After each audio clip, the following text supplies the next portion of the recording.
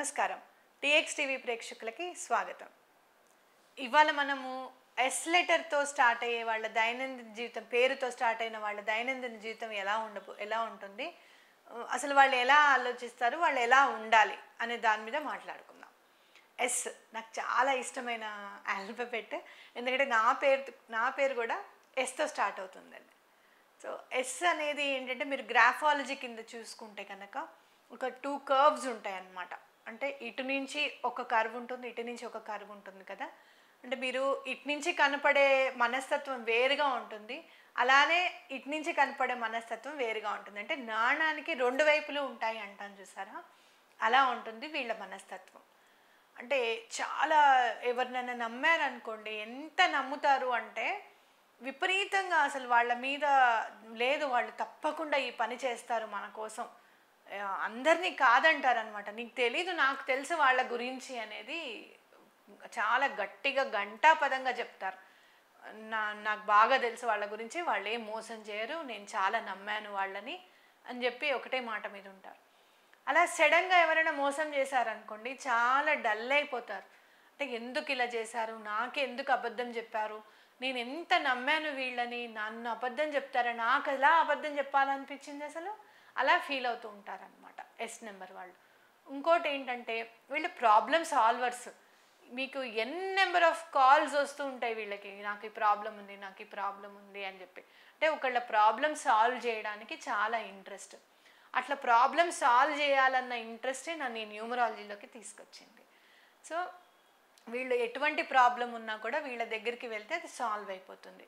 అయితే ఎస్ వాళ్ళు ఇంకోటి బాగా గుర్తుపెట్టుకోవాల్సింది ఏంటి అంటే ఎస్ అనే అక్షరానికి మరి షూరిటీ అంటే ఇష్టం ఏంటి? అది కూడా ఎస్తో స్టార్ట్ అవుతుంది. కాబట్టి షూరిటీ పెట్టడానికి ముందు ఉంటారనమాట అంటే ఎవరైనా ఫైనాన్షియల్గా అప్పుకి వెళ్ళారనుకోండి నేను ఉంటాను నాది బాధ్యత అని తప్పకుండా మాటల్లో అయినా ఒక మాట చెప్తారు. లేకపోతే చాలామంది నా దగ్గరికి వచ్చిన వాళ్ళు నేను మా ఫ్రెండ్కి అప్పు ఇప్పించానండి షూరిటీ సంతకం పెట్టాను అతను ఇప్పుడు ఎక్కడున్నాడో తెలీదు నేను కట్టాల్సి వస్తుంది అది కాదు. మా ఫ్రెండ్కి నేను పర్సనల్ లోన్ తీసిచ్చానండి. నా అకౌంట్లోంచి నెల నెల టైంకి వేసేస్తా అన్నాడు. ఇప్పుడు వేయట్లేదు. అడుగుతుంటే రిప్లై లేదు. ఇలాంటివి నేను చాలా వింటాను ఎస్ నెంబర్ వాళ్ళది. వీళ్ళ ప్రాబ్లం ఏంటి అంటే మంచితనం. ఆ మంచితనము ఎంతవరకు ఉపయోగించాలి అనేది అస్సలు ఆలోచించరనమాట జేబులో పది రూపాయలు ఉన్నాయనుకోండి ఎవరన్నా వచ్చి అప్పు అడిగితే ఆ పది రూపాయలు తీసి ఇచ్చేస్తారనమాట మరి వీళ్ళు ఎలా ఇంటికి వెళ్తారు అనేది ఆలోచించరు అసలు. అంటే వాళ్ళ దగ్గర ఎంత ఉంటే అంత ఇచ్చేస్తారు.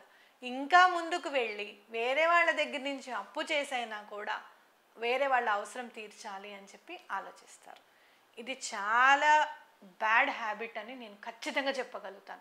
ఎందుకంటే అందరూ మనం ఎవ్వరం కూడా నేను కూడా అలాంటి హ్యాబిట్ నుంచి బయటపడిందాన్ని. ఇప్పుడు నేను చేయట్లేదు. న్యూమరాలజీలోకి వచ్చిన తర్వాత నా సిగ్నేచర్ మార్చుకొని అసలు ఎవరికి హెల్ప్ చేయాలి ఎవరికి హెల్ప్ చేయకూడదు అనే దాని మీద చాలా శ్రద్ధ వహించి చేస్తున్నాను అనమాట అయినా కూడా ఎక్కడో అక్కడ అయ్యో పాపం అని మాత్రం అంటాను. అయితే వీళ్ళు ఏంటంటే మెయిన్ ఇంకోటి మనం గుర్తుపెట్టుకోవాల్సింది ఏంటి అంటే మీరు సహాయం చేసేటప్పుడు మీకు ఒక ఫ్యామిలీ ఉంది అని గుర్తుపెట్టుకోండి. మీ వెనకాల మెయిన్గా అసలు ఆడవాళ్ళకి చెప్తున్నాను మగవాళ్ళకి చెప్తున్నాను.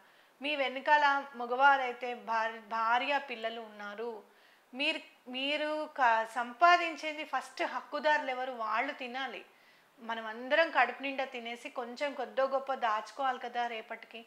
అది దాచుకున్న తర్వాత ఇంకా ఏమన్నా ఉంటే హెల్ప్ చేయండి. సహాయం చేయండి. అంతేకాని అట్లా ఉన్న పళ్ళంగా ఏదో ఒకటి వాళ్ళకి చేసేయాలి హెల్ప్ చేసేయాలి. అంటే క్యారెక్టర్ ఎట్లా ఉంటుందంటే ఎందుకు అలా ఉంటుంది? ఎస్ నెంబర్ అనేది గురువుకి సంబంధించిన నెంబర్ అన్నమాట. అంటే Jupiter is the ruling planet for S ఆ గురువు అనేవాడు ఎలా ఉంటాడు? ఆయన దగ్గర ఉన్న జ్ఞానాన్ని కూడా ఇచ్చేస్తూ ఉంటారు. ఇప్పుడు మన టీచర్స్ ఉన్నారు అనుకోండి పాపం క్లాస్ చెప్తారు. బయటికి వెళ్ళిన తర్వాత డౌట్ ఉంది. మళ్ళీ ఇంకో అరగంట చెప్తారు. చెప్తూనే ఉంటారు మనకు వచ్చేదాకా వాళ్ళకి ఇంట్రెస్ట్ అది చెప్పడం అనేది. అలానే ఎస్ ప్లానెట్ అనేసరికి ఏమవుతుంది? మనకి ఇంట్రెస్ట్ వేరే వాళ్ళకి హెల్ప్ చేయడం అనేది మనకి ఇంట్రెస్ట్ అన్నమాట. ఆ ఇంట్రెస్ట్ మీద చేసేసుకుంటూ వెళ్ళిపోతూ ఉంటారు. అట్లా కాకుండా ఒక స్ట్రిక్ట్గా మీరు ఒక ఎవరైనా ఒకళ్ళు వచ్చి కొంచెం అమౌంట్ అడిగారు అనుకోండి నా దగ్గర అంత లేదు నేను ఇంత ఇవ్వగలుగుతాను నువ్వు రిటర్న్ చేయకు. ఫర్ సపోజ్ మీరు ఒక వెయ్యి రూపాయలు ఎవరికైనా ఇచ్చే పరిస్థితుల్లో ఉన్నారు వాళ్ళు ఒక లక్ష రూపాయలు అడిగారు అనుకోండి ఇగో బాబు నా దగ్గర ఈ వెయ్యి రెండు వేలు ఉన్నాయి నా దగ్గర అంత కాదు ఇది రిటర్న్ ఇవ్వకపోయినా నువ్వు పర్వాలేదు నీ ఇష్టం అని చెప్పండి. లేదు నా దగ్గర లేదు అనన్నా కరెక్ట్గా చెప్పండి.